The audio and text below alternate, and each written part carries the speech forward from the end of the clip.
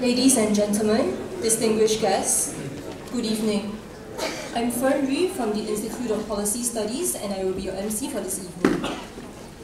Welcome to the last IPS Nathan lecture by Mr. Peter Ho, The Future, Governance, Unintended Consequences, and the Redemption of Hope. Mr. Ho will deliver his lecture, followed by a question and answer segment, which will be moderated by Ms. Chua Mui Hoong of the Straits Times. To conclude, IPS Director Janadas Devan will deliver closing remarks.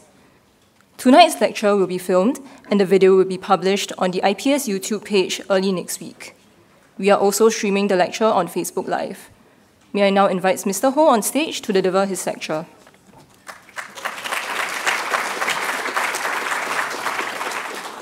Uh, good evening.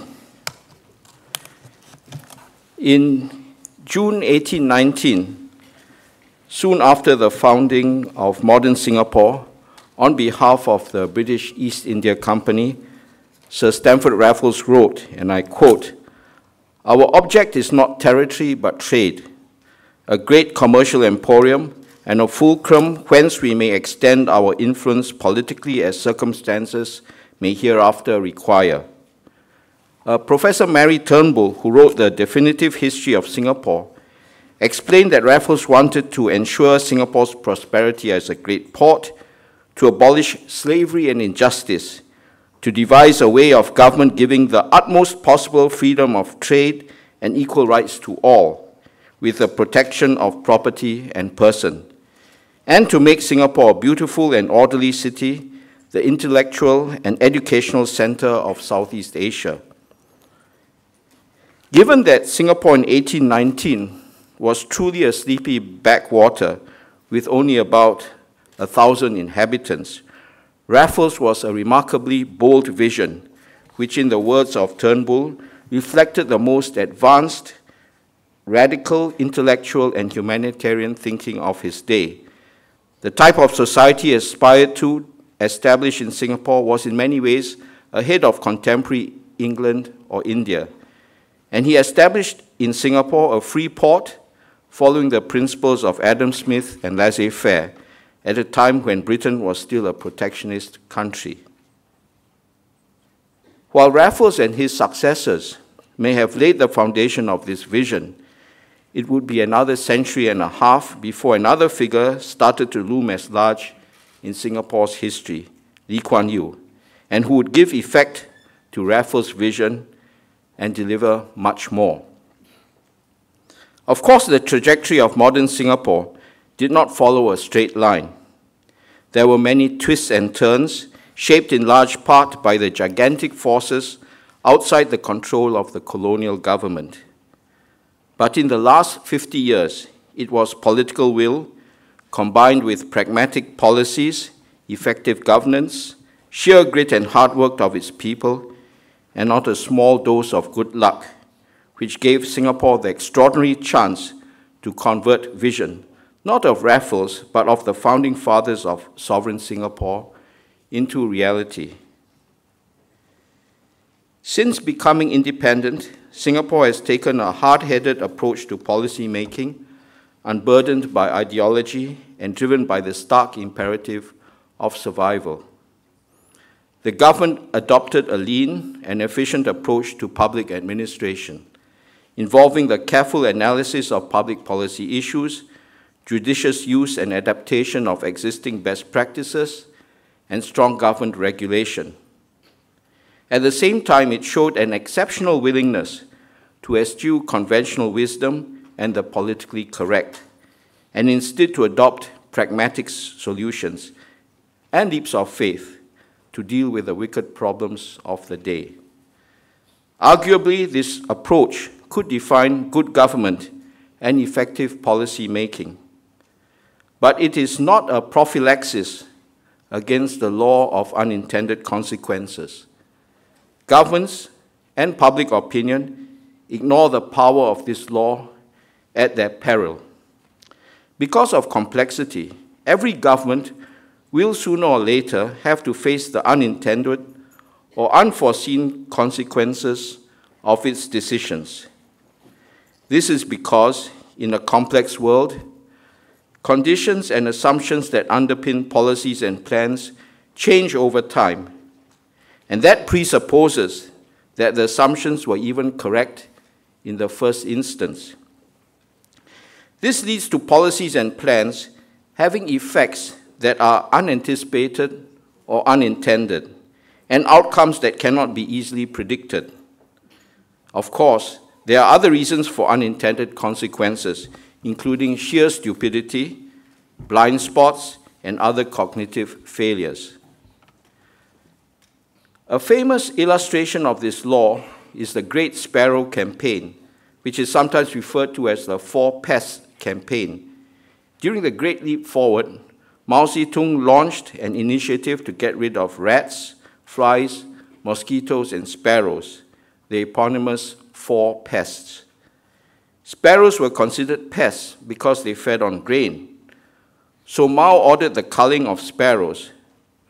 But nobody then seemed to have realized that sparrows not only feed on grain, but also eat locusts as an avian delicacy. By culling the sparrows, a delicate natural balance was upset, and soon there were not enough birds left to eat the locusts. As a result, locust swarms took over the countryside, devouring entire crop fields in their path, resulting in starvation and contributing to the great Chinese famine. Singapore has not been immune to the law of unintended consequences. Like many other developing countries, Singapore's population growth in the early years was high. In 1965, Singapore's total fertility rate, or TFR, stood at 4.66. The birth rate was 29.5 per thousand people. The concern then was that Singapore's population, which stood at 1.8 million in 1965, would climb to an unmanageable 5 million people by the year 2000. Like many other governments around the world, Singapore's was fearful of the potential Malthusian impact of high population growth, and so the government acted decisively to slow it down. The government began a campaign to encourage smaller families. In 1966, the Singapore Family Planning and Population Board was established and the government launched the National Family Planning and Population Program with a key public message of a small family. In 1972, the government began its phenomenally successful Stop at Two campaign. Within three years, the birth rate had plunged from 23.1 to 17.7 in 1975, falling even beyond the target of 18 per thousand. But the low birth rate soon turned into a cause for concern. This unintended overcorrection arose in part because the policy was implemented ahead of developments in Singapore that have seen, since been found to correlate with low birth rates, such as higher education and employment opportunities for women and rapid po poverty reduction and income growth. In effect, Singapore became a developed country in demographic terms well before it became one in the economic sense. Social policies are particularly susceptible to the law of unintended consequences, as human behavior and societal changes are often shaped by deep, hidden, and interconnected forces that, because of complexity, might not be fully apparent for years and this is where governments often run into the limitations of conventional policy levers. Public policies are aimed at changing overt human behavior, such as imposing fines to deter littering. But they are often unable to tackle and shape its deeper aspects. For example, the government's Productivity and Innovation Credit Scheme, or PIC, that was meant to invest, incentivize businesses to raise productivity and boost innovation was also extensively gamed or abused, if you will, eroding the scheme's impact. Furthermore, decision making in government is constrained by cognitive limitations which define our human nature. And this is because of what Nobel economist Herbert Simon called bounded rationality. The rationality of an individual is constrained by the information that he has and the finite time he has to make a decision. This challenge is accentuated in a hierarchy, including government. The decision maker at the top receives all the information and makes the decisions. But because of bottlenecks caused by bounded rationality, the decision maker is either surprised with all his cognitive synapses saturated, or he lacks sufficient bandwidth to comprehend the full scope of the problem. This means that the decision maker cannot possibly make a fully rational and optimal choice. Instead, he will very often choose a course of action that satisfices. It is somewhat acceptable, but not optimal. This means that our human nature renders decision making an imperfect process, one that, even in the best of circumstances, does not lead to the optimal choice, but to one that is only reasonable. Taking into account the challenges of complexity and the law of unintended consequences, it can lead to the depressing conclusion that government policies and plans cannot always be right and certainly not for all time. But this does not mean that we should sit on our hands in the face of such problems. Instead, we should approach such matters with a huge dose of humility, prepared to shift course and to maintain an open mind. Having unintended consequences does not mean that the policy was flawed in the first instance or should not have been implemented. But it does mean that governments must be willing to change tack or even reverse course if the policy appears to be drifting off course. Running pilots and experiments would also help. The larger point here is that translations from policy intent to content and then to outcome are often not straightforward. When things go wrong, as they often do, how do we respond? Do we just look for someone to blame, or do we work to solve the problem? A blame seeking culture can be both destructive as well as unproductive. It might satisfy a human impulse to hold someone accountable, but it certainly doesn't solve the problem.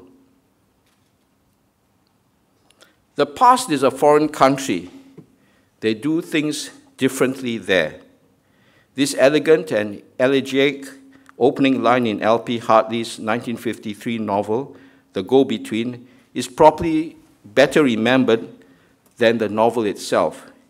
It speaks to the essential reality of human existence that things are changing and moving forward rather than staying still. Understanding the future is hard. It has yet to unfold or come into being. The great financier J.P. Morgan once asked, was once asked what the market would do. His learned reply was, it will fluctuate. We can guess what the future may be, but we face the same challenge as when we try to understand a foreign country. We cannot help but project our implicit assumptions. In thinking about the future, too often we take up one change that we think is powerful and important and leave everything else as it is. So we end up with a view of the future that is essentially an extrapolation of today. And this is because of an inherent linearity in our causal reasoning. There's plenty of research in cognitive psychology which show that we struggle to understand nonlinear relationships and tend instead to think in straight lines. We assume that there is proportionality between cause and effect.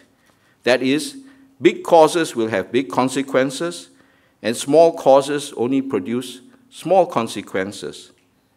This linearity often means that planners and policymakers focus on the major forces in the social, economic, technological, political, and environmental spheres.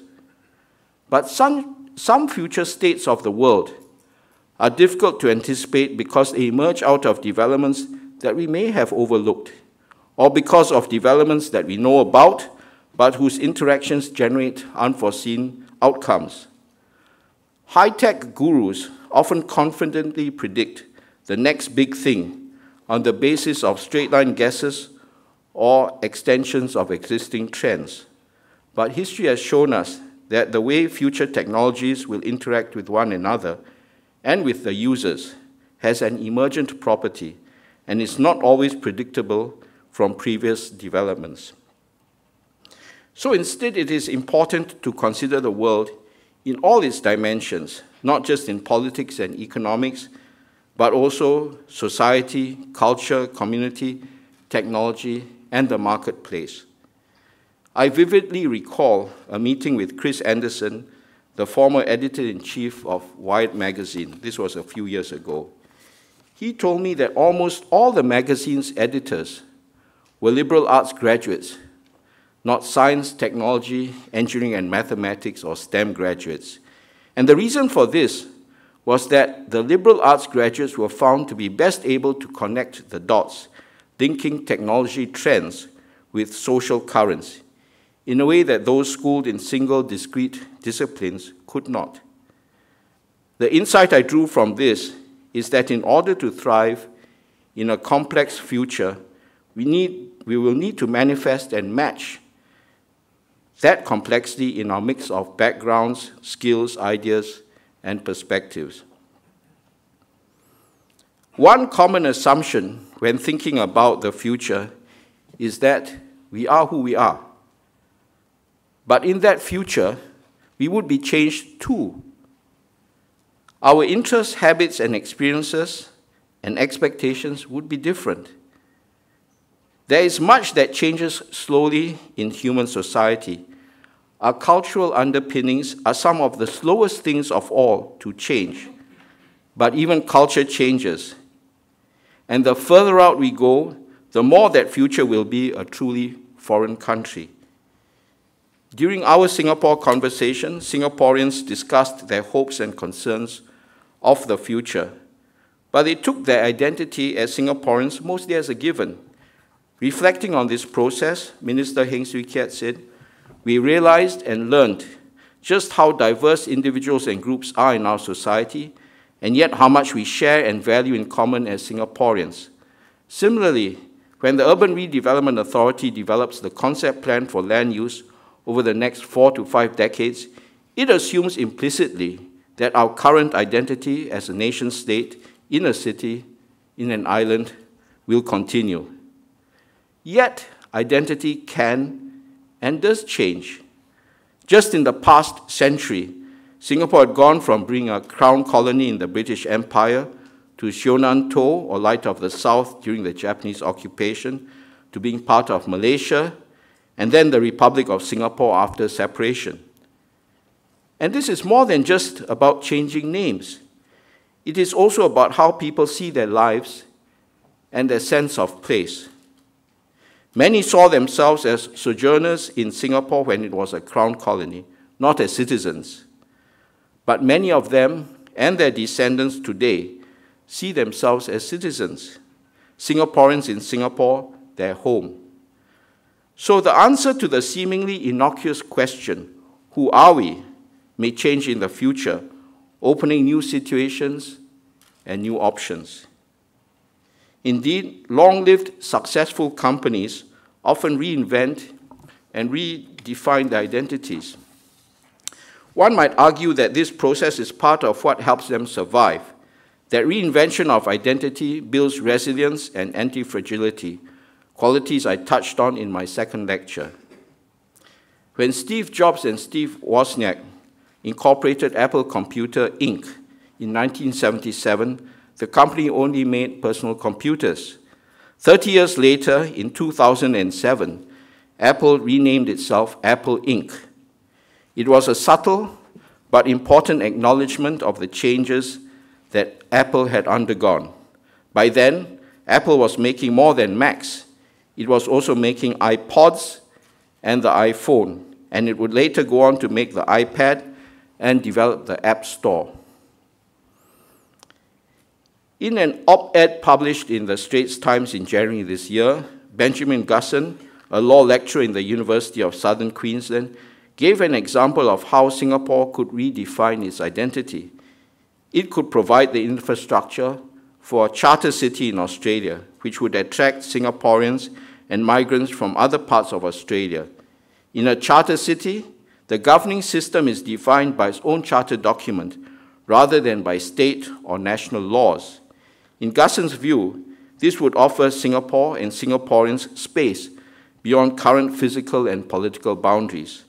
The charter city would be a global city that would also boost growth in Australia. To be sure, only a few charter cities have sprung up. Paul Romer, the current World Bank chief economist who champions the idea, cites Shenzhen and Hong Kong as examples of charter cities. But even if this specific idea may not gain much traction, it raises this possibility that the idea of Singapore need not be confined to this small island. Imagine what identity would mean in a future where people live not just in the physical world, but through virtual reality or VR and augmented reality or AR, also live in alternate worlds, part real, part virtual. Now, is this science fiction? Maybe not. The propensity to spend a large part of our waking hours in a virtual world is already here. A Nielsen report last year revealed that the average American adult spends 10 and a half, 10 hours, 39 minutes staring at a screen each day. Last year, people the world over, including in Singapore, witnessed the astonishing phenomenon of pedestrians walking around blindly, smartphone zombies, oblivious to the danger of traffic whizzing around them, totally absorbed in tracking down Pokemon in the AR game Pokemon Go. In March this year, Elon Musk, the CEO of Tesla and SpaceX, launched a brain computer interface startup called Neuralink, which is developing what he calls a neural lace technology that would involve implanting tiny brain electrodes that may one day upload and download thoughts. He later spoke of some high bandwidth interface to the brain that helps achieve a symbiosis between human and machine intelligence. In such a world, what would identity mean? If the individual inhabits virtual worlds for much of his waking hours, connected through avatars on his smart, smart devices, or linked in future through some version of Elon Musk's neural lace technology, then where is his emotional and psychological center of gravity? In the old days, the emotional space that the individual occupied coincided exactly with the physical space that he lived in. But in future, this alignment may be disrupted by advances in digital and even neurological technologies. Do we embrace this future as a nation accepting then that the notion of national identity may change or at least become more ambiguous? Or should we repudiate it? The answer lies in our fundamental attitudes towards the future. By population and geography, Singapore is truly small. We see ourselves as price takers. Because we are a small country, we often speak as if the future was a car speeding towards us we can swerve or we can run backwards, but we cannot control the car. In my second lecture, I spoke about how Singapore, in its short history, has experienced change, not as an, a velocity, but as an acceleration. The world changes and affects us. We adapt or we perish. Prime Minister Lee Hsien Loong captured this view in a speech at the Singapore Institute of Technology in October 2016. We know the world is changing. You cannot predict how, you cannot predict when, but you must gird ourselves for whatever might happen and adapt to new conditions as they come up. And there are good reasons for this view. Examples abound of successful organizations that eventually fail. Some failed to discern changes or failed to change. One example is Nokia, a classic case study of Clayton Christensen's innovator's dilemma. Nokia was the market leader when Apple introduced the iPhone in 2007. It was an early adopter and driver of 2G technology, a world leader in both supply chain management as well as global brand building. It was the first handset manufacturer to target the bottom two thirds of the global income pyramid. Nokia was among the first to understand the importance of ease of use, of design, and of mobile phones as lifestyle products. As a result, half the smartphones around the world then were made by Nokia. But by 2010, this figure had fallen to one third. Nokia failed to develop the software and smartphones to compete with Apple and Google. It had failed to see the mobile internet was a practical option, and it could not find a credible response to the iPhone and Android OS. It even rejected the development of a Nokia App Store. It was the beginning of the end. Eventually, Nokia threw in the towel and sold its mobile phone business to Microsoft in 2013. We need to consider how we influence change, how technology impacts and de develops, how markets are created and change. And there are good reasons to focus on structural changes. History is emergent, and among the many possible paths that history could have taken, the interaction of structural factors and human agency led us down this one path. If we relaxed the constraints of Singapore as a price taker, what new options to reinvent ourselves could we consider? One view of technology is that it will advance and affect us, but as an external and often frightening force. We say that technologies such as artificial intelligence and robotics will disrupt jobs. Jobs will be automated, so we must prepare ourselves. Robots may be alienating, so we must mitigate these risks. The sentiment that technology is beyond human control and frightful finds expression in art. Victor Frankenstein creates a sentient being who kills people. In the 2004 film I, Robot, robots try to take over the world. In the 2015 film Ex Machina, the human, humanoid robot Ava outwits her creator and escapes into the world, leaving viewers to imagine the consequences.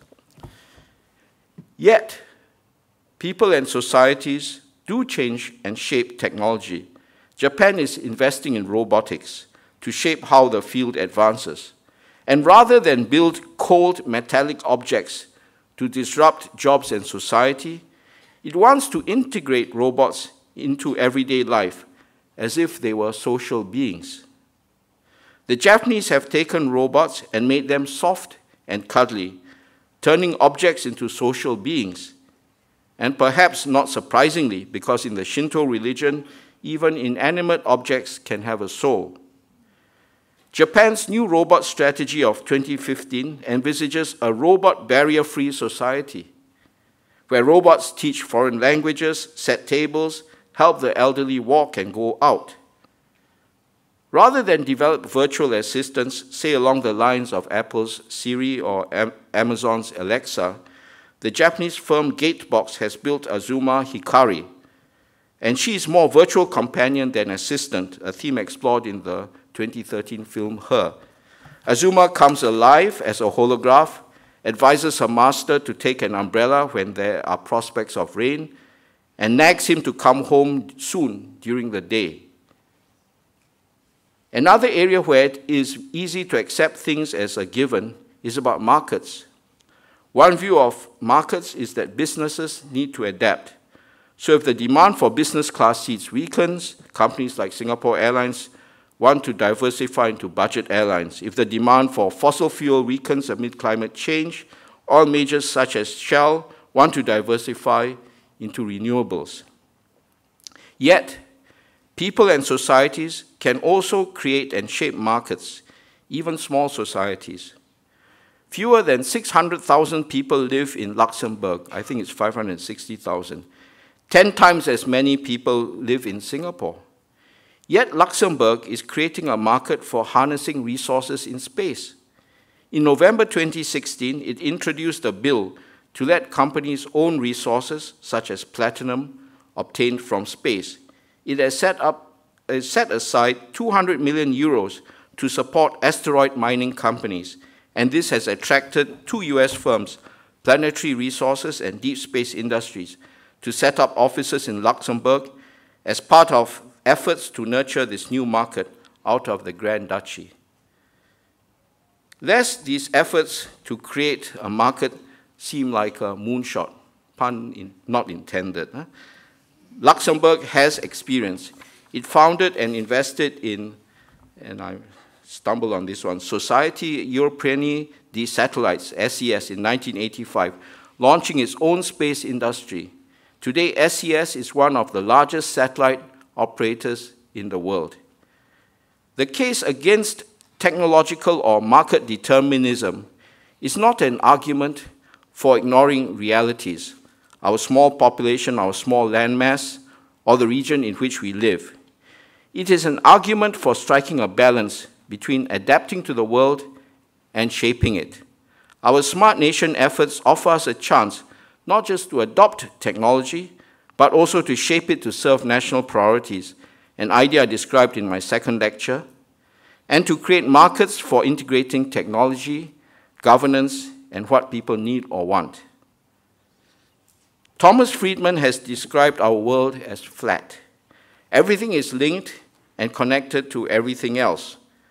Globalization and advances in transportation and communication technologies have put nations, peoples, and enterprises in touch with one another as never before. But there is another metaphor used by Richard Florida, who argues that the world is spiky, not flat. His argument is that higher value added activities are densely concentrated and clustered in hubs, what he calls the mega regions of the world. These hubs and connectors of the world have superseded nation states as natural economic units. Singapore is part of the flat world, but it is also part of a spiky world. Singapore is today a global and regional hub of many things. Since Raffles' time, Singapore has been an important trading and maritime hub between East and West. Singapore is also a major connector in international aviation and a key node in the global financial system. But Singapore's position as a hub is neither unassailable nor preordained. History shows that hubs come and go. Malacca used to be the center of the spice trade in Southeast Asia. Venice was the center of the east west trade through the Middle Ages. Rangoon, now Yangon, was the aviation hub of Southeast Asia before 1962. Is it important that we are a hub, a peak among the valleys in a spiky world? Simply defined, hubs are the exceptionally well linked nodes in a network. Throughout history, hubs have been the main engines of economic growth and development. Network theory provides insights to explain why hubs acquire wealth more easily than other nodes in a network. The world's economic geography is dominated by hubs which are the focal points of opportunity, growth, and innovation. Firms locate to where skills, capabilities, and markets cluster. Capital flows to where returns are greatest, and highly skilled talents move to where opportunities lie. And this was what happened in Venice, which I touched on in my first, third lecture. As a city primarily concerned with trade and commerce, Venice was not a major producer of artistic or scientific talent. Instead, it imported talent, foreign talent, if you will. Attracted to Venice's wealth and position as an intermediary between East and West, artists and scientists flocked to the city during the Renaissance, making it a vibrant hub of culture, ideas, and scientific knowledge. Today, Singapore's approach to attracting top talent to boost the R&D sector echoes the Venetian example. Today's economic geography is also dominated by hubs. They are defined as places that claim significant economic activity, substantial innovative capacity, and highly skilled talent. Singapore is one of these hubs. And contrary to Tom Friedman's flat world thesis, the existence of hubs reflects the reality that both economic activity and innovation are highly concentrated and become more so as one moves up the economic ladder. Economic activity continues to cluster around highly connected hubs, and in this spiky world, the tallest peaks, the hubs, will continue to flourish and grow even higher, while the, in the valleys they will languish. In other words, the rich hubs at the peaks get richer, while the poor in the valleys stay poor. And this is the power law. This means that in a network, there will always be a few densely connected nodes or hubs, and many more nodes with only a few links. But even then, the nature of hubs will change. What will a hub look like in the future? It would be fatal to assume that the density of connections that Singapore has today and the centrality that it enjoys in today's networks, whether in air transportation, maritime, or other networks, are permanent. When we think of our place in the world, we often think of physical geography. The British set up a free port in Singapore because it is located on the trade route between India and China. The epithet Little Red Dot is today a badge of pride for Singapore and Singaporeans.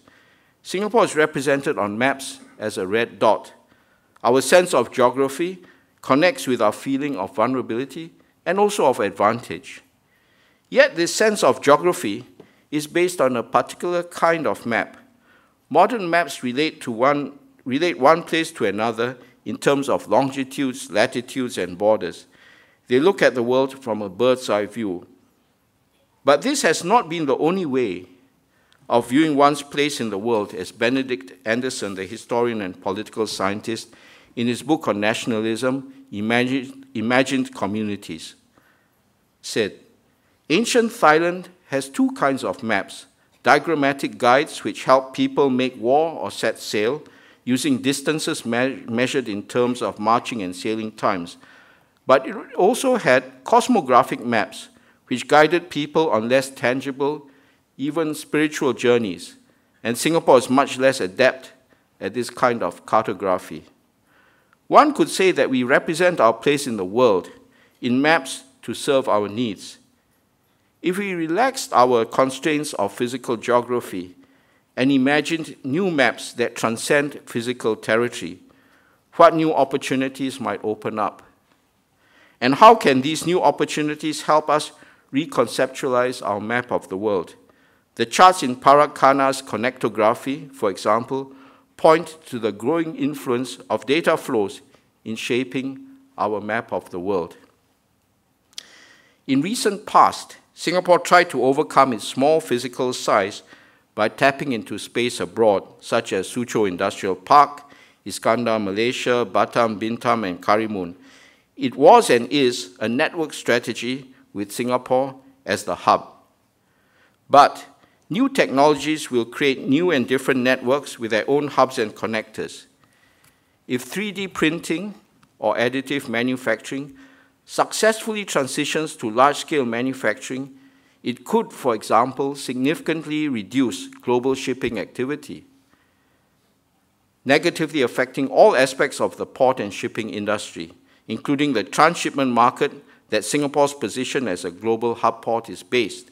In one study, PricewaterhouseCooper estimates that up to 37% of the ocean container business is at risk because of 3D printing. So whether we will continue to be a hub in the networks that will emerge in future will depend not just on our capabilities, but also on our ability to seize early mover advantages and on how quickly we can create and attract new links to Singapore in the new networks that emerge.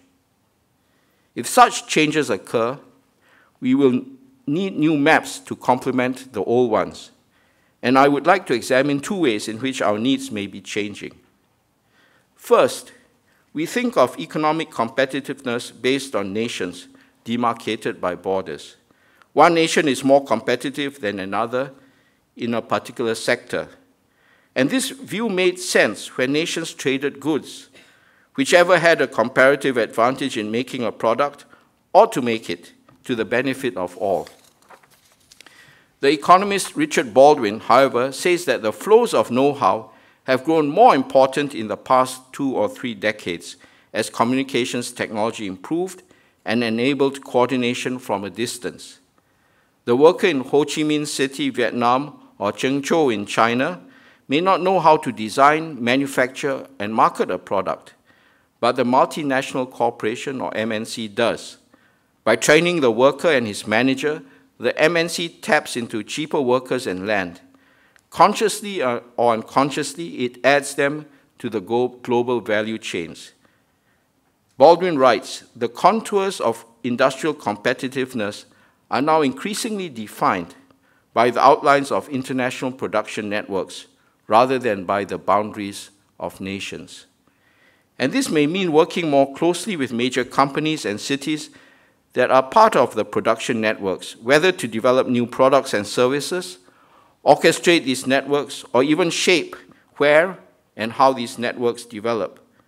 Baldwin speculates that improvements in communications will enable other flows, even those of high-touch services, such as seeing a counselor or working with a physiotherapist across national borders. Remote medicine, where patients interact with doctors in a different location, is already practiced. Today, Rio Tinto manages its mining operations remotely. In future, digital platforms can tap into labor based abroad without even setting up a Singapore supported industrial park. Such platforms like Konsus already exist.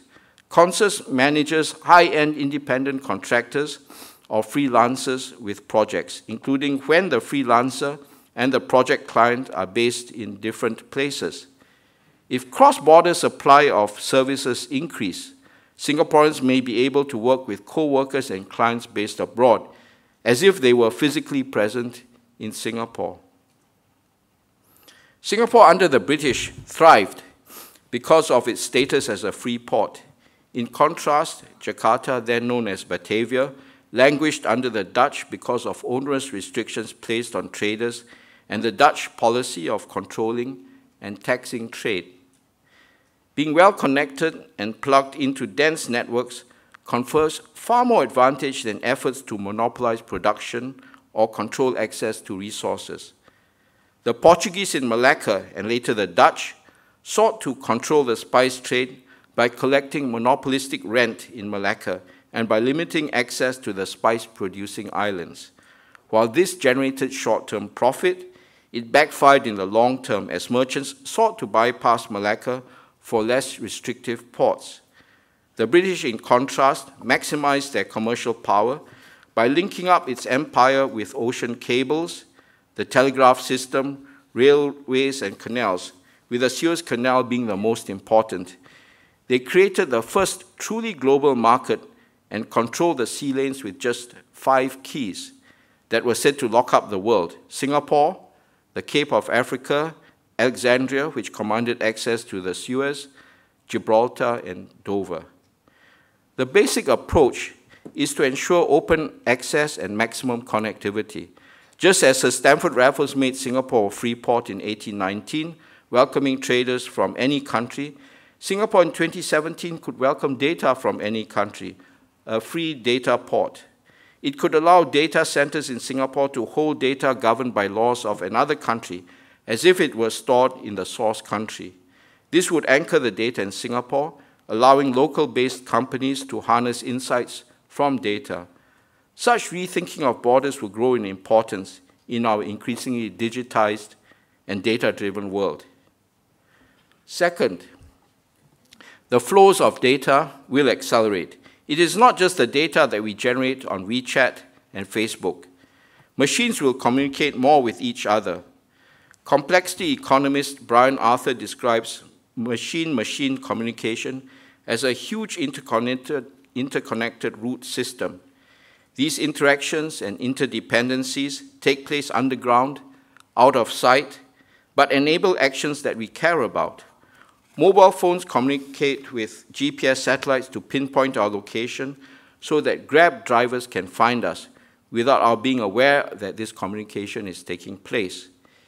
If the mo movement of data from one IP address to another will matter more in future, nations may need to reconsider how to plug themselves into these flows, given the possibility that countries will protect the sovereignty of data. Some countries indeed are already mandating that data about their citizens is stored locally. Others are setting rules on the transfer of data across borders. Today, Singapore manages its relations with other states through diplomacy and the conduct of foreign policy. In future, it will need to manage relations with a wider range of entities, with digital conglomerates, with cities, even with other uh, countries in the digital space. And this will not be without precedent. Denmark is reported to be creating the position of technology or digital ambassador. Some have dubbed the, that some have dubbed the Silicon Valley ambassador in order to better engage digital firms such as Apple, Google, and Facebook. It is almost as if technology was its own country, unlike the present and certainly unlike the past. Although the role is being fleshed out, Danish Foreign Minister Anders Samuelsen explained the need for greater engagement by citing recent investments in Denmark by Apple and Facebook, increasing data usage and attendant issues of privacy and fake news.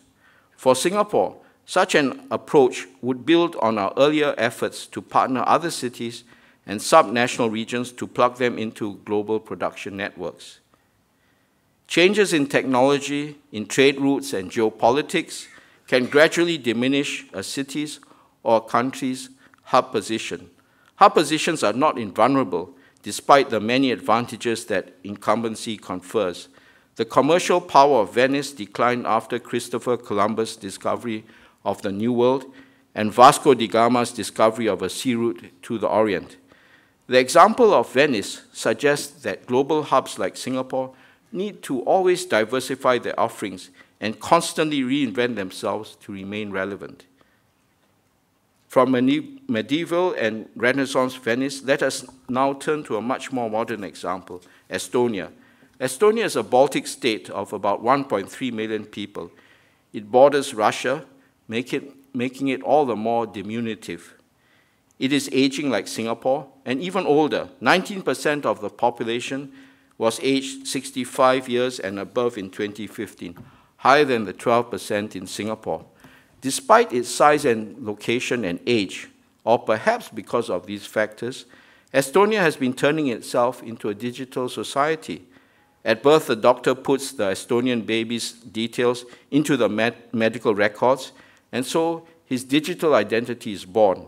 And this digital identity now allows an Estonian to sign private contracts, access public services and databases, pay taxes, and vote. In the 2015 parliamentary election, 30% of votes were cast over the internet. By cutting trips to public offices and banks, for example, the digital society is estimated to save Estonia 2% of GDP annually. Beyond the digital society, Estonia is also recreating itself as a virtual nation. First, it is trying to back up its computers and databases so that the Estonian digital society can continue to function, even when cyber attacks or physical attacks occur.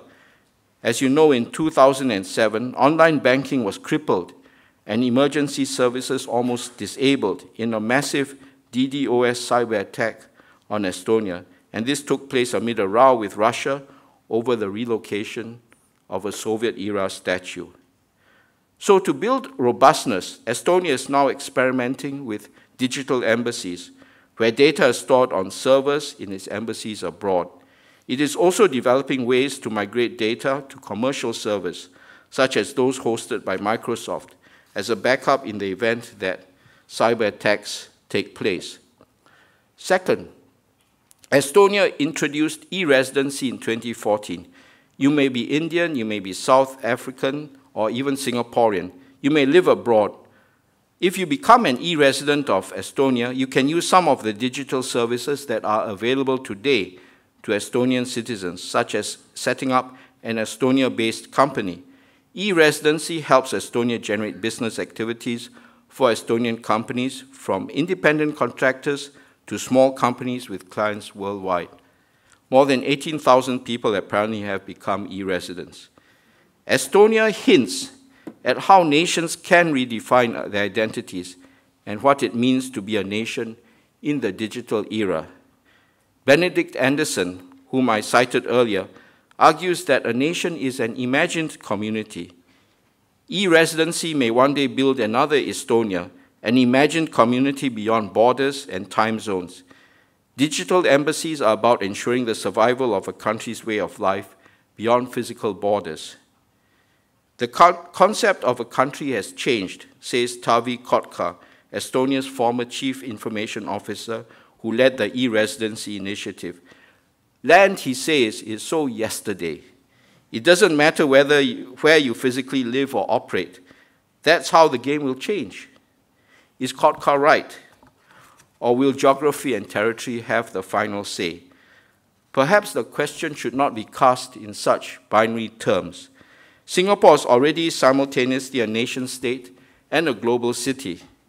To consider Singapore also as an extraterritorialized entity expanding the concept of our reality to enc encompass abstract bits and data flows merely reinforces the paradox that we already are. It was Singapore's great fortune to have had two remarkable visionaries in its short history of two centuries Stamford Raffles, the founder of modern Singapore, and Lee Kuan Yew, the father of independent Singapore. The question is whether Singapore should tempt fate and leave it to luck that another great man will emerge to lead the nation to even greater glory, or whether we should create the conditions that will allow Singapore to extend its exceptionalism for as long as possible into the future. I'm, of course, inclined to the latter, not just because I believe that passivity opens us to greater turbulence and increases the likelihood of strategic shock. It is also be because I believe that action creates hope. Hope is a fuel that energizes society, but hope also needs action to make vision become reality. As Bill Willingham wrote in the Fables series, hope isn't destiny. Left passive, it is nothing more than disappointment deferred. Our founding fathers' grand vision and great hopes for Singapore were always accompanied by action. This is the difference between hope and paranoia. The latter has a crippling capacity to cause all action to be for naught, while the former propels reasonable, thought out action with measured optimism. The central question that is posed in this evening's lecture is whether Singapore is merely a price taker or whether it has the ability to influence and alter the factors that shape the future. A thread running through all these four lectures, and this evening's in particular, is a hopeful view that even small city states can influence, shape, and even create not just markets, but their operating environment. It is a belief in this view that hope can be redeemed for even a little red dot like Singapore. As a parting shot, let me outline two reasons for this belief. First, I do not want to trivialize Singapore's very real constraints. But these very constraints are our opportunities. Resource constraints matter more to us because we are small. We also have less room for systematic policy error in a world that is increasingly VUCA.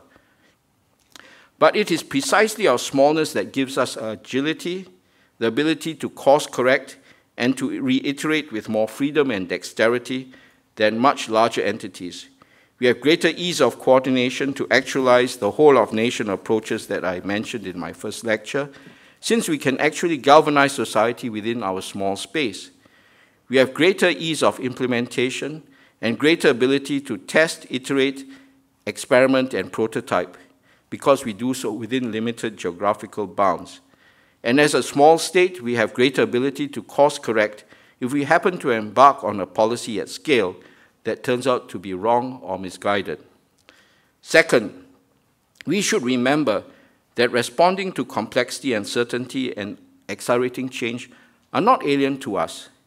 It is in our very DNA as a country and rooted in our origins both as a seaport founded by Raffles as well as a nation led by Lee Kuan Yew and the other founding fathers.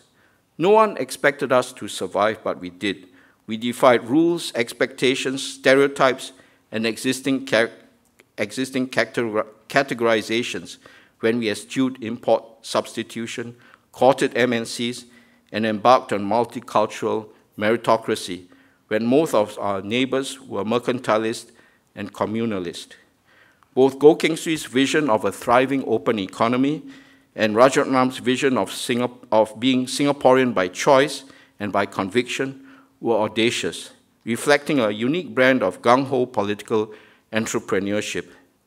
My belief in the redemption of hope should not be seen as something new to Singapore. It is within each of us, and with a little of uh, effort, we can reclaim it. Of course, there are conditions attached. Prime Minister Lee Hsien Loong alluded to one of them when he spoke of his wish for a sense of divine discontent, which I take to mean as never being satisfied, never being complacent that we have arrived. Of course, it is hard to change the identities that we are familiar with, who we are, where we are, and what is within influence. Yet changing identities is part of what it means to grow. You're not the same person you were a decade ago, and hopefully you are the better for it. The winds of change provide an opportunity for us to reinvent ourselves. We need courage and conviction, courage to change the identities with which we have grown comfortable with, to rewrite the stories we tell ourselves about ourselves, and imagination to come up with different identities. We should not feel that our success in future is derived from what we are today. If we can achieve such courage and imagination, then there is a basis for, to hope for a better future that is yet to exist. This courage and confidence to embrace changes and opportunities together as a nation rests on our sense of shared agency, values, and destiny, a shared future. A key source of strength in Singapore has always been our people's trust in fair competition and just reward for efforts and achievements, compassion for the unfortunate, and restless yearning for continuous progress. This points to trust at this points on this point on trust and compassion bears emphasizing. And it has to be carefully fostered by the leadership because without it, it would not have been possible for leaders to forge consensus on far-reaching policies and tough trade-offs between different priorities, interests, and groups. From this interplay between internal hope and external forces of change, combined with vision and good governance, the future, our future will emerge. As the 13th century Persian poet and scholar Rumi memorably wrote, the garden of the world has no limits except in your mind. Thank you.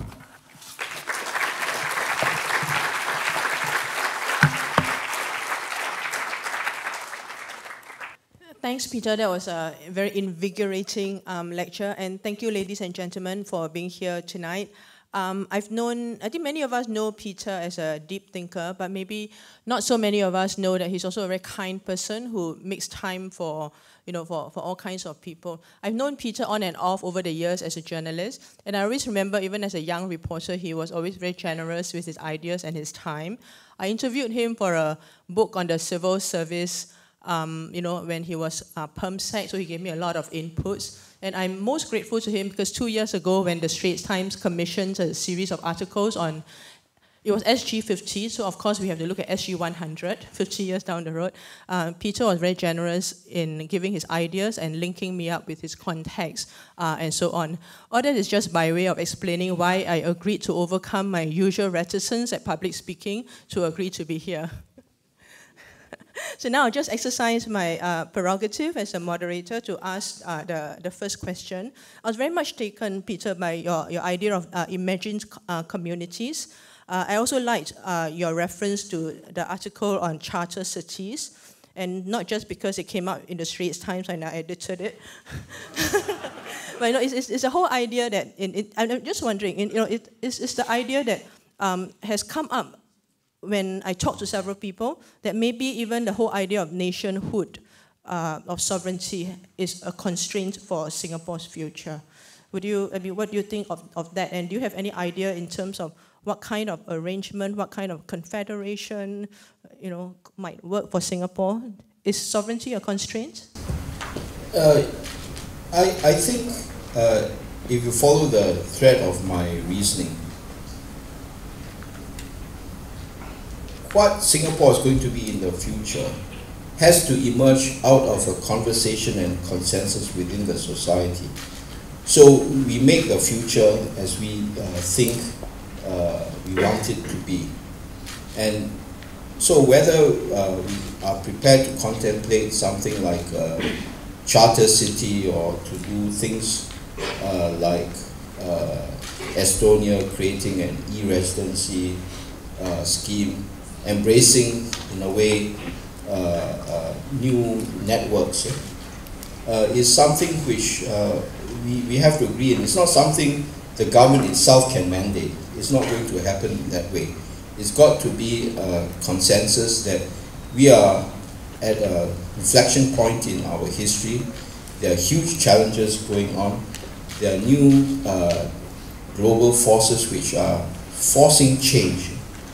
And the big conversation which we need in Singapore is what we want to do in this period of great change. And if you, again, I have to uh, make, again, link this back to my three previous lectures. Uh, the point which I was trying to make is this change is irreversible. It's no point wishing that we can go back to the good old days because the good old days are gone forever. So there's a new future being uh, created and we have to decide what kind of uh, uh, role we want to play in this future. And what I wanted to make in this final uh, lecture is that uh, there are opportunities uh, rather than seeing all the challenges as constraints. Actually, we should see this as a source of uh, opportunity. And we have uh, some advantages because we are small, we are nimble. So we can decide, and we can decide to move if we want. If we had worried about constraints, I think Singapore wouldn't be where we are today, frankly. I would like to invite you to ask your questions. Can uh, walk over to the mic. Please introduce yourself and where you're from. Yes, the gentleman over there. Edmund, I believe.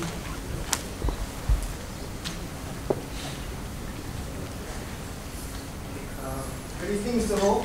Uh, thank you for your very I, I think you better speak into the mic, uh, otherwise uh, nobody can hear you.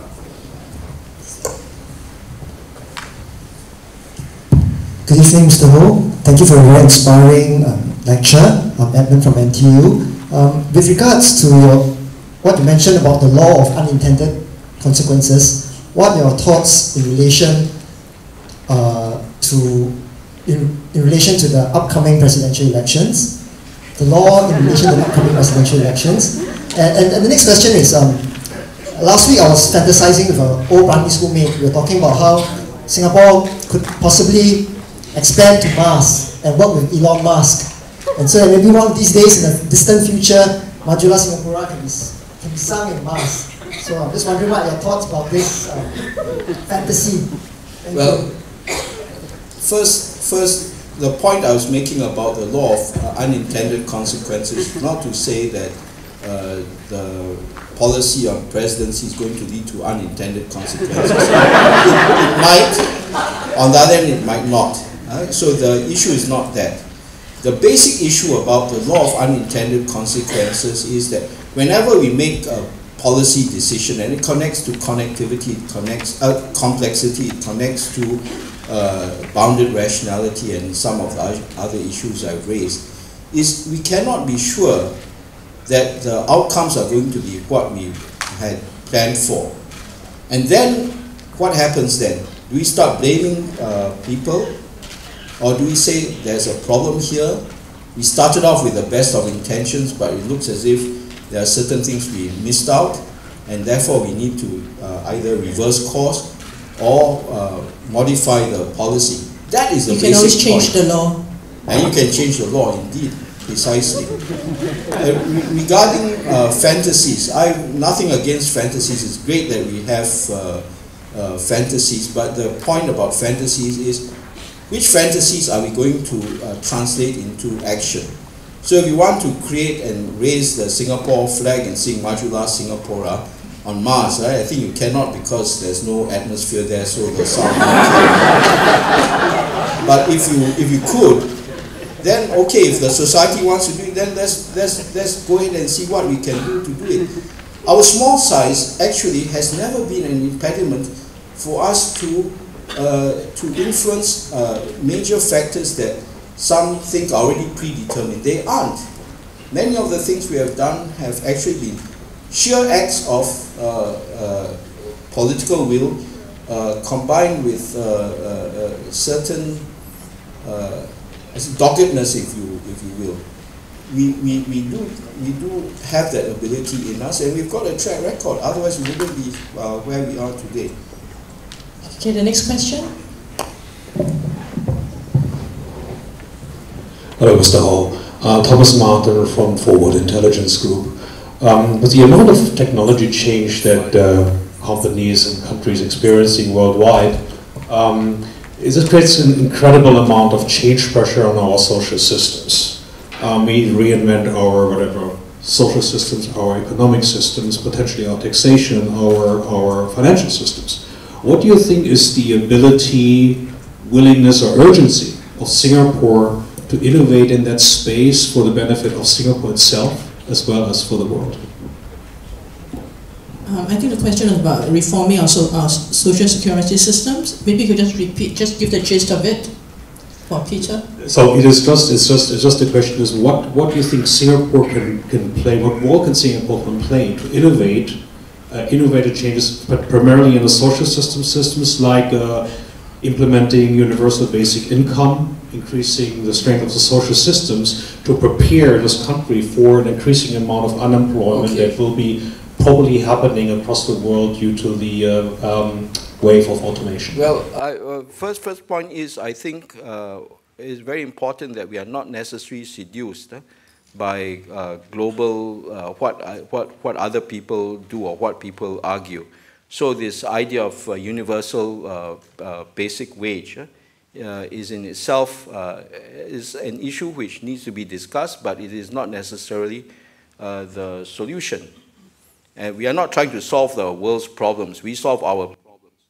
So this, this uh, I think, uh, speaks to the importance of having this whole of nation approach. You must have a conversation to decide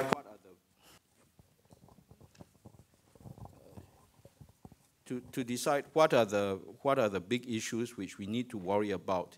Uh, if, if, it is, uh, do we need to provide uh, basic wage for everybody? Well, we can discuss that. But is that the, is that the big issue? Uh, let, us let's go back to uh, some of the themes in my uh, four lectures now. The, the theme is things are changing very fast. And if we don't, are not prepared to change, uh, we will be left behind. And, and I talk about things changing very fast. I'm not talking about velocity. I'm talking about acceleration. So we are at this uh, juncture, and it's a unique uh, juncture in history where things are accelerating, and I think uh, we need to uh, set aside uh, past practices which seem to have worked well for us, but which may not work well in the future. Now, if that means we have to contemplate uh, radically new ideas, well, we do so. And I think, uh, but this I think is uh, acme of good leadership. How do you uh, bring the people along with you? And I think that also requires an ability to converse and talk about these issues. The, the lecture is the, the lecture is being streamed uh, live on Facebook, so we have um, people watching us. Hello, uh, our online viewers. Here's a question from some uh, one of our viewers, uh, Valerie. She's asking us um, this question. The future of Singapore is actually quite old, considering our aging population. How will this phenomenon shape public policy? Are we ready for this future? Uh, I, I, think this is a huge uh, issue, the issue of our demographic uh, profile. Our demographic profile is, uh, is aging, and uh, at some point we will begin to look uh, like Japan is uh, today. So the question for us is what kind of uh, solutions will we have to address these issues? Because there are a few issues regarding aging population profile. One is how do you give people who are older and who are going to live for much longer periods? You know, today we say uh, the average uh, life expectancy is 83. In fact, I tell you, many of the people uh, here in this room who uh, are going to live to 100. It's, it's, it's, it's, uh, it's, a moving, it's a moving goalpost. So people who are going to age, how are you going to give them a meaningful life? How we are going to look after them? How, where's, the, where's the support, the financial support going to come from? So these are big challenges. But then you have other challenges in this kind of uh, uh, profile, where are the young people who provide the energy to uh, energize the economy, who propel the uh, uh, country with new ideas, uh, who are prepared to try new things out. You know, so, so these are, I think, very important challenges. The first society, I believe, that is confronting this in a very real way is Japan. Japan has all the challenges of an aging society and an aging society that lives uh, very long. Although I understand that Korea is just about to uh, live longer than the Japanese, but it's the same. It's the same. It's the same thing. They're all living very long. How they're doing it? They know that they have to keep the economy vigorous, so they have got to get the young people out into the economy. So it means they cannot depend only on the people to look after uh, uh, uh, the old people. So that's why I think the drive in robotics, uh, artificial intelligence is all a very uh, interesting indicator of some of the possibilities for us in the future. But I think it's something we have to uh, worry about a lot. Yes, the next question. Good evening, sir. thank you for the lecture. I realize that the lecture is, is very saturated with, with like future and the techno and technology, not so much about politics. So my question relates to future of governance and politics. Now, uh, different governments bring along uh, different perceptions about the future, and if the political landscape in Singapore becomes a two-party pendulum with one displacing the other every general election, would the civil service be able to withstand this constant fluctuation? Now, there is a lot of talk for, about the need for the civil service to be adaptive and flexible, and it's easy to say that, but it's hard and sometimes painful. I think it's a question that's worth pondering over, and perhaps you could share with us your perspectives on this. Sorry, you forgot to say, yeah, who you are, in your background. Oh, my name is Leon. I'm currently serving my national service. Okay, great. Well, I, I, I think uh, again, I'm sorry to have to go back to my previous lectures which uh, touched on this uh, issue. I think uh, the nature of uh, government itself is changing and has to change uh, in the light of how society is changing. what seemed to have worked very well for Singapore in our first 50 years, I think has to give way to a, a, a more collaborative type form of governance. And it's not uh, so much a debate over whether it's a one-party system or two-party system or three-party system or you have one uh, revolving door and you have always the loyal opposition. That's not the debate. The real debate is uh, what is the relationship between the government, the people sector, and the private sector. That is the critical debate because unlike in the past, especially in the people sector, they now have a voice which they didn't have before. And that voice is partly because of good education, but that voice also comes uh, from having uh, access to the social media, which now we've discovered governments cannot ignore. Like it or no, the opinions of a, a group of people will always be uh, very loud created by this, uh, uh, this uh, social media. So in a way, uh, I think the form of governance as opposed to government is going to involve a lot more collaboration between the people and the, and the private sector and the government.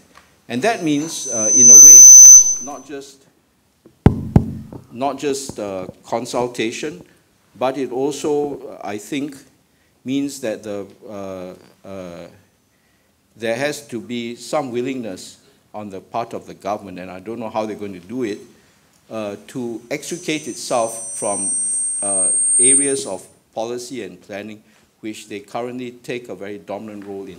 Of course, I think governments will continue to be responsible for defense, and unfortunately, you can't decide on defense policy.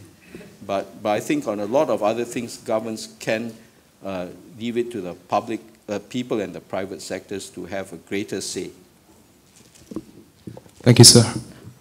Other questions? Some of you mean, ah, okay, that's one. Uh, hi, my name is uh, Xiang Bin, and I uh, finished my national service. okay, uh, so regarding the lectures, uh, which mainly focus on future thinking, I was wondering how do you evaluate the performance of uh, the future, think future thinkers that you talk about, considering that it's not possible to, dis to distinguish between uh, situations that has been avoided and what wouldn't have happened regardless. Yeah, thank you. No, the, the, the, the, short answer to that is the, uh, the job of a future thinker is not to predict the future. So there's no way you can assess uh, somebody who's planning for the future on the basis of whether he got his predictions, and I use that within uh, quotation marks, uh, right or wrong. It is uh, whether he is, has an ability uh, to look at all the factors and say in a considered way how he thinks those factors are going to influence uh, where we are today and how these factors can be harnessed to shape the future, but not to predict the future. Yeah, I got uh, my friend. yes, uh, a question from Kishore. Sorry, uh, Kim Fat after Kishore. Oh, yeah, I, I, think the, the gentleman uh, went okay. first. You want to defer to yeah, Mr. Map? Okay, he's referring to Kishore. Kishore. Go yeah. ahead, Kishore. Yeah, he's my senior. You. Okay, my Kishore. No, it's not working. I think that's a signal, okay,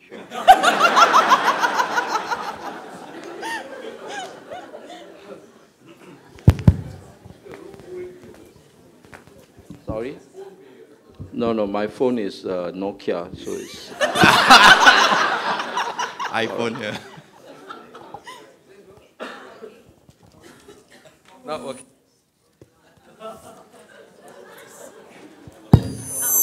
Hello? Okay. Yeah. I, I, I can see that uh, someone is trying to silence my voice. uh, anyway, uh, my name is Kishore Mahbubani. I'm the Dean of the Lee Kuan Yew School of Public Policy. And uh, Peter, listening to your lecture was such a pleasure. I mean, you gave us an incredible tour de force in terms of covering so much in such a short space of time. But I just want to build on the last comment you made about how the government's got to give space to the the people and the private sector and engage them more. And you're right, certainly not in defense policy, but in other areas. So the obvious uh, follow-up question, therefore, is how does Singapore create more space for alternative voices, dissident voices, you know, voices that clearly say things that are clearly outside the box, clearly outside the formulas that we've used in the past 50 years, that were probably rubbish in the last 50 years, but may actually work in the next 50 years. So how do we change, in a sense, the political chemistry of the society that allows the, such voices to emerge? Well, that, that's a kind of question uh, you shouldn't be posing to me. You should be posing it to the political leadership. But let, let me try to let me try to uh, attempt uh, to answer that question. Uh, I believe uh, going forward, uh, the government is beginning to realize that they have no choice but to open up and listen to what the people are saying.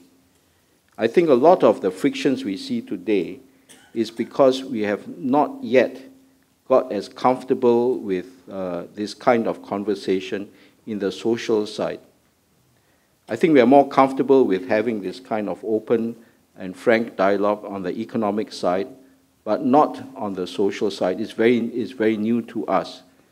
Uh, but uh, I think uh, going forward, looking at the way uh, trends are developing, it's very clear that uh, first the electorate is uh, far more well informed.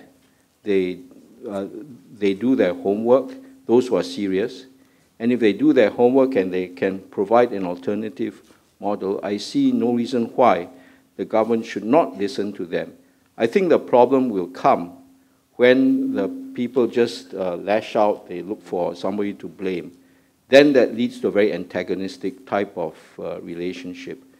But it means that the nature of policy making itself will have to change.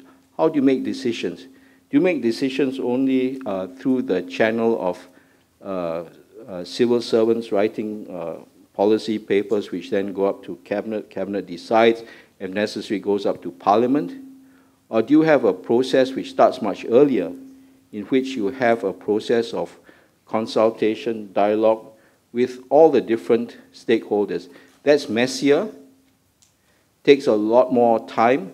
You're going to get uh, some uh, left field uh, uh views expressed, some outright, uh, uh, some outright, some ideas which cannot, which are unimplementable. That's inevitable. But should we avoid this kind of thing? My view is, in future we cannot. So I think we have to move down that road. But then the, the leadership uh, also needs to have a, a, a, broader view of what decision making is. And uh, I think the people sector in particular also needs to know that this kind of approach requires them to take a responsible approach. Yes, the gentleman. Thank you for your patience. Yeah, uh, thank you, uh, Peter, for the four excellent lectures. Like in fact here, uh, I spent 30 years in defense and now 12 years from the market. So I have this outside-in view. I want to ask you that although you say that we are small, it is an advantage to us to look forward and give us hope. I can't help by looking at some of the recent issue when we have new uh, challenges. The first thing is to create new entity rather than look at existing uh, government setup to amalgamate them, to flatten them.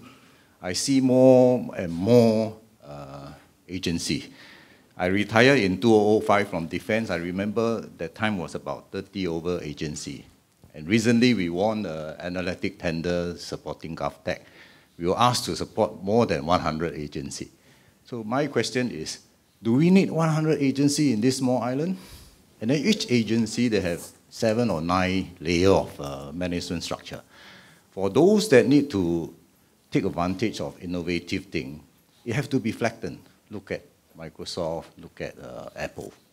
But somehow you leave it to the traditional way, it will be seven, eight, nine layer, even for agency that need to innovate. So I want to hear your comment on this. Thank you, sir. Well, this, this could be the subject of another S.R. Nathan uh, uh, lecture series. But uh, I, I, I've, I've studied uh, uh, organizations for, for a very long time. And I think there is always a propensity uh, within any kind of bureaucracy to create more and more uh, arms and legs and add more and more layers. You, they, somehow I, I've seen that they cannot help it. So it takes, uh, I think, a conscious effort to uh, scrub it down to what is minimally required. Uh, unfortunately, you know, uh, uh, there's always a justification for why you need this agency or that statutory board or that ministry, and these are in and of themselves you know, you could say perfectly justifiable. Question is, are they serving the function that they are set out to do, or whether they become bureaucratic impediments? That's very critical. And that has to, uh, that question can only be answered by the leaders of these organizations. Do they just become, insert themselves into the uh, uh, system instead of facilitating decision making, getting better outcomes, become uh, frictions in the system and slowing everything down. Uh, so again, you have to uh, remember, you know, in Singapore, no matter how uh, good the government is, there's always a bell curve. There will be uh, certain things which are most critical. Make sure you have the right people in charge of those critical areas, the people who have the ability to uh, cut through the red tape, who have the ability to cut the Gordian's knot if necessary, to get things done, just to get the kind of outcome the government wants. And the rest, well, they just continue as per normal. I think this is, uh, I think, a reality of any kind of human organization. Here's where I, my reporter's instinct comes out, so I'm going to press Peter. But do you think that there are too many agencies in Singapore, which I think is the heart, at the heart of the gentleman's uh, question? Well, if, if, if what I, do you I, think, Peter? I, I was always an advocate to make sure that we have a reasonable number of agencies, but we should be very careful when we add uh, agencies uh, to this thing. And by agencies, I mean uh, things like uh, statutory uh, boards. So uh, I don't follow this in a great deal of detail today, but if you think that there are many more agencies than there were a few years ago, then it must be the case. But then the question is, are they uh, doing their job properly or are they Okay, we get it. Uh, are they uh, okay, we get it. I, I just wanted to move on uh, Right. quickly because we have a few uh, other questions. I'm sure many of you are dying to ask very, you know, good questions. Um, Facebook uh, viewer Chan Chun Mu. Uh, history tends to recycle itself in the future. Do you foresee ourselves getting involved or sandwiched again in any form of regional power competition? What principles should we adopt to survive? Well, I, I can only give you the straightforward answer. The only way we can survive in a, world that is uh, challenging and always changing, and we have to remember we are uh, going to be a little red dot in a, a much uh, larger region of great diversity, and not always uh, uh, peaceful, sometimes quarrelsome. And I think in this kind of uh, world, you only make your way forward if you uh, are strong, not necessarily strong in the uh, uh, uh, in the in terms of size, but if you have a effective uh, defense system, that means effective deterrence, a strong uh, foreign policy and a very adept foreign policy, and uh, lastly, uh, you must be economically successful. If you are not economically successful, you can't, uh, uh, you, you can't assert yourself. I think that's, that's the reality. So the fact that we have been successful economically has given us the basis to uh, develop a strong defense capability, having a pragmatic as well as a very agile foreign policy has also given us a strength to uh, maneuver in a very complex uh, world. I, I hope that answer satisfies Chunmu. Here's another question from another Facebook viewer, Hannah. What do you think of the scholarship system in Singapore, which has led to many government leaders being scholars who are in danger of groupthink, as well as from being a, from being a homogeneous demographic? Is it something that needs to change and change quickly? Well, my, my belief is that it's very important uh, for uh, the government uh, not to, the people who serve in government, particularly the decision makers, not to be cut from the same boat of cloth. Uh, that's not to uh, say that the scholarship system is uh, bad. In fact, the scholarship system is a very important route in which we get talent into the government. But the question is whether we should be much broader in reaching out to get people who don't necessarily conform uh, to uh, a, a, particular stereotype of what a, a good uh, civil servants should be like. And I think uh, to give some credit to the government to the Public Service Commission in recent years, they actually have deliberately looked uh, for the person not just because he's uh, good academically or because he comes from a particular uh, junior college, but they look at the whole person. So I think this effort to diversify uh, is there and it's, I think, taking place. Yes. Hi, I'm sorry. Hi, I'm Suhaimi. I'm actually an educator with MOE. Um, since we are talking about the future, Um, I would just like to ask about the education of the students because they are technically the future of our country. Um, so, in your lecture, your insightful lecture today, you actually mentioned something about the Yale and US um, students, the kind of liberal arts programs uh, that are actually very forward looking. Would you actually encourage the students of Singapore today to actually go towards more of this kind of generalized um, degree, or even not, not necessarily even a degree, more towards a generalized kind of education rather than a specialized uh, stream of thinking, or even like education in that sense? Uh, well, uh, this will be a, a, source of a lot of debate uh, in future, but I think uh, we need to develop a greater ability to, uh, for our graduates from our schooling system to take an interdisciplinary view of things. That means solving our complex problems in the future uh, cannot uh, depend only on just a person being an excellent economist. He must have insights into how society works. Just like having a technical solution is not going to be good enough. You have to think about uh, what the social uh, aspects are, what the economic uh, aspects are. So this is one strength of uh, the Yale NUS uh, liberal arts education, which is much more broad-based. So they look at problems not from the perspective of a single discipline, but from a more broad-based view. Interesting enough, this isn't the only one in Singapore. The other one is the Singapore University of Technology and Design. And remember what that is. That is about design. The design approach is an approach in which you solve uh, problems holistically.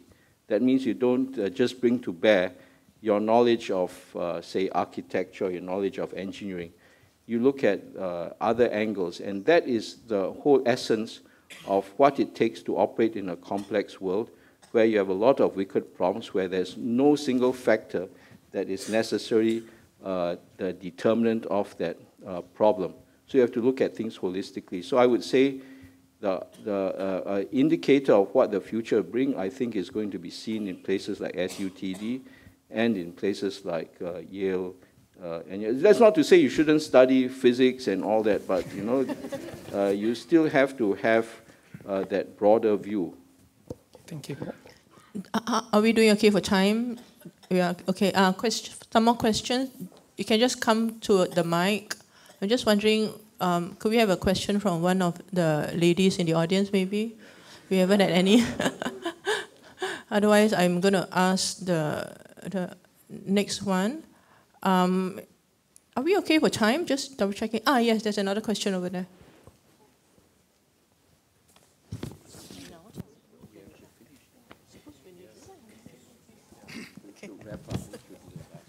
Uh, my name is Rama. I'm a corporate training consultant uh, talking on the issue regarding the government, the people, and the public and the private sector. Okay, uh, people are more active, etc., more vocal. I uh, I spend if I'm at home, I spend about ten hours on the Facebook. I have about five thousand members, the maximum you can go. And most of my members are all foreigners. You see, the Malaysians are very vocal. Even in WhatsApp, they are very vocal. But here I see very docile, very passive. It's a fear factor still working. Whenever I put up a thing, the night I cannot sleep, whether someone is going to take me away. Okay, now, so the issue is how to get people, to give more people confidence just imagine today, I was watching BB, uh, BBC and CNN news. They were talking about Comey, the sacking of Comey, the FBI director. By accident only, you know. I seldom watch Channel News Asia. Sorry. Okay? Uh, by accident, I switched on to Channel News, Channel News Asia. It was plain. There was nothing uh, analytical, nothing highly uh, you know, intellectual about the sacking. It was just plain sailing. Uh, the setting must be done by the government for people to be more vocal, for people to be given more space for to articulate. The people here are intelligent. They are not stupid, you know. But the space is not there. Thank you. Thank you. Well, uh, uh, first I would uh, challenge your, your view that Singaporeans are not uh, vocal. I think when they need to, they express. The, the, question we have to ask ourselves, and this is really a question for society as a whole to ask ourselves, do we want to be a society that's always uh, uh, confrontational and every issue is an issue of confrontation, or are we much more of a society where we say there are problems we, and we try to solve the problems? I don't think it is necessarily a bad sign if our uh, people only uh, uh, make noise uh, on the big issues and on other issues they are relatively uh, quiet. Why do you want to quarrel over every issue? You'll get tired, you'll get exhausted. I get tired just following what's going on in the US. If you're in the US and you're a citizen of the US, you'll be exhausted. The first hundred days is there and they are still going on and on, you know. So, so you really have to ask yourself what kind of society you want. And I would not, uh, I would not jump to a conclusion that this society is docile. In fact, I have a, I have a, I have a, actually an opposite uh, view of this. But they are, they choose their, they choose the uh, battles they want to fight. And I think that is the kind of thinking society you want, rather than a society that every issue that comes up we fight over those uh, uh, issues. But that's my two cents worth. I think that's an appropriate juncture to wrap up this uh, lecture series. It just leaves me to um, thank uh, Peter and to uh, make some summing up comments. I'm sorry, there's a, a gentleman asking. Yes, please yes, go yes. ahead. My name is Manmohan. Um, so I spent uh, 30 years in the Singapore Armed Forces. I'm currently working in the social service sector with AWA.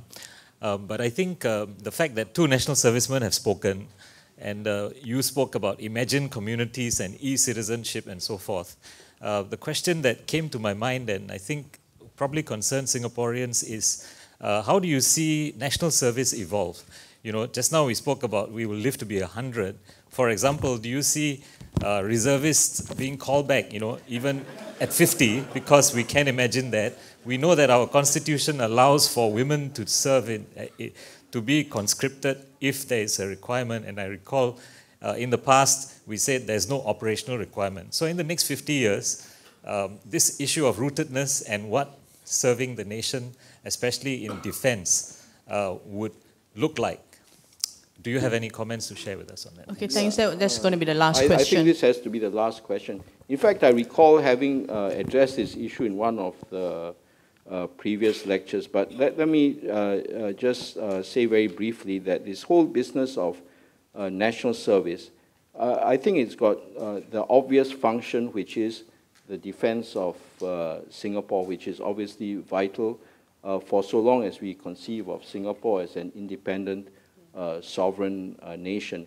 And even in these imagined communities, which I talk about, the physical Singapore is still important, so you still need some form of SAF, you'll still need some form of uh, national uh, service. But this will always, uh, uh there will be a perpetual tension uh, between uh, the desires of having a good and effective SAF through national service and other desires which include being a more of a global city, being a more international hub, which will always put two competing requirements uh, uh, into play. And that's not to say that there's uh, at each period of our history we have to find the we have to find the right answer.